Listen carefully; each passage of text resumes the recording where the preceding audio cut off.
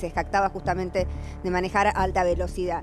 Lo que fue esta tragedia es una realmente un anunciado, ¿no? Algo que iba a pasar. Ella pasó en rojo a toda velocidad. Este hombre venía en moto y lo mató. 36 años tenía. ¿Quién es la Toreto Martín? Bueno, como vos decías, Mariana se llama Felicita Albite, tiene 20 años. Y perdón los exabruptos, Mariana, que voy a mencionar ahora, que voy a decir ahora, pero este es el ejemplo más claro de cómo alguna parte de la justicia del Estado se caga en las víctimas y se caga en la familia de las víctimas. Porque cuando vos hablás con la familia de Rubén Arman y le mostrás la foto de esta chica y le mostrás el video y les tenés que decir, está libre porque es un homicidio culposo de no sé qué, porque el artículo no sé cuánto hace que lo espere el juicio en la casa. Te miran y te dicen, pero ¿cómo? Si mi familiar estaba yendo a laburar, estaba en la moto, pasó en verde, iba a una velocidad normal y viene una mujer manejando un auto que no era el de ella, a alta velocidad, más de 120 kilómetros por hora, en una avenida, pasa en rojo, y ahora lo vamos a ver en detenimiento en el video. ¿Cómo va a pasar en rojo? Flagrantemente en rojo. Ni siquiera es que estaba cambiando. Flagrantemente no a frenar, o sea. Lo pasa por arriba. Y ni siquiera está preso un ratito. Y se va a la casa, como si nada.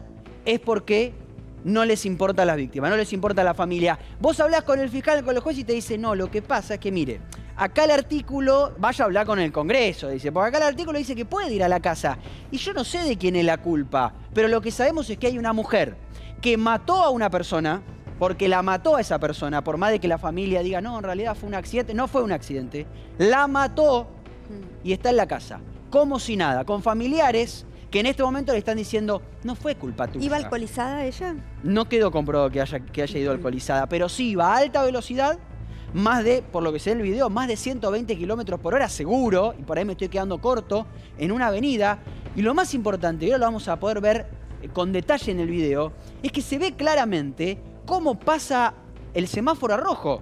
¿Sabes lo que llama la atención? Que no atina a frenar. Nada, mira, acá lo tenés, es como si hubiera venido ya planeando pasarlo, ¿no? Porque venía a una velocidad muy alta y no, sin importarle, sin importarle absolutamente nada. Perdón, María, nada más. Quizás corriendo, una picada, algo. Probablemente, pero mira, si lo podemos frenar ahí, si lo podemos frenar ahí, el semáforo ya está en rojo, pero está claramente en rojo. No, es, que, no es que justo de amarillo, no. de verde, amarillo y no, no, está claramente en rojo. Fíjense, el auto que va a venir de donde marca la flechita roja y la moto que va a venir de donde marca la otra flecha roja. Y van a ver cómo... ¡Ay, Dios! Lo pasa literalmente por arriba. Lo saca volando. Sí, sí, es brutal. Con el semáforo en rojo. ¿Cómo me pueden explicar, o quién puede explicar, que esto no tenga a priori ninguna consecuencia inmediata?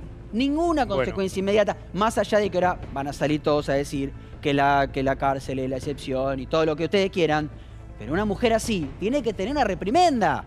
No puede estar en la casa. Sobre todo con los antecedentes, ¿no? Que ella se jactaba justamente de andar a hay dos elementos del Hay dos elementos de la conducción temeraria, ¿no? ¿Cómo, cómo? No, pero digo acá el, problema es confundir sanción, sí. porque la, la cárcel no está para castigar a la gente.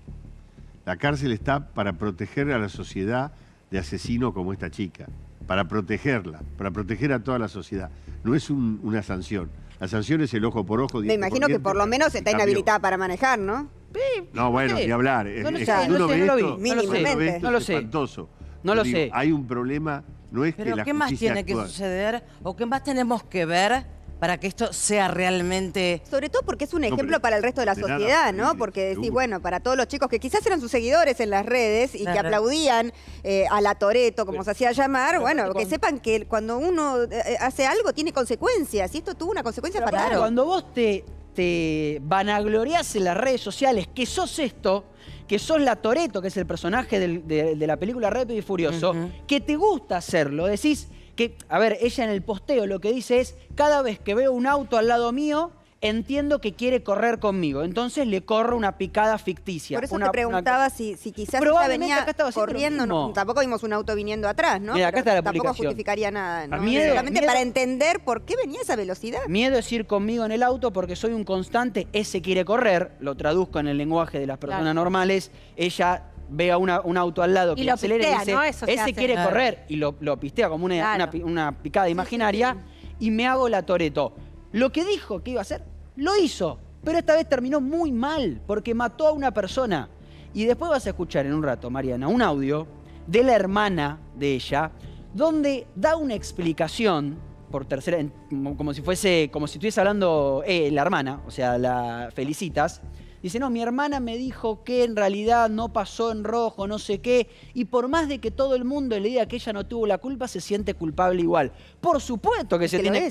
Pero más bien que se tiene que sentir culpable. y no sé si no tiene la culpa, porque tiene toda la culpa. A ver, la tipificación de, de, la conducción temeraria se da acá, porque vos tenés una conducción interreglamentaria, va a un exceso de velocidad por encima de los 30 kilómetros de la permitida, y además pasa el semáforo en rojo. Es decir, que le podés aplicar el 84 bis que fue reformado a instancia de las Madres del Dolor, allí estuvo, Isabel Doble eventual. De 3 a 6 años. Eso es como homicidio culposo, conducción temeraria. Culpa grave, claro. Ahora, la pregunta es, si acá no hubo un homicidio simple con dolo eventual.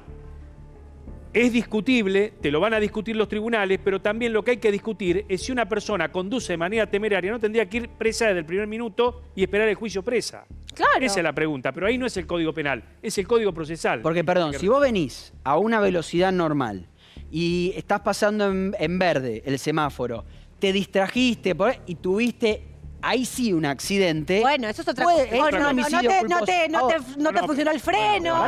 Te distrajiste mirando el celular. No, no, yo, dije, yo no dije mirando el celular. Dijiste, te no, no, dije me distrajé, no dije mirando el celular. Te distrajiste. Puede ser que pase que te distraigas, que no veas. Puede pasar. Pero esta chica lo estaba buscando. Pero esto no Esta chica lo estaba buscando.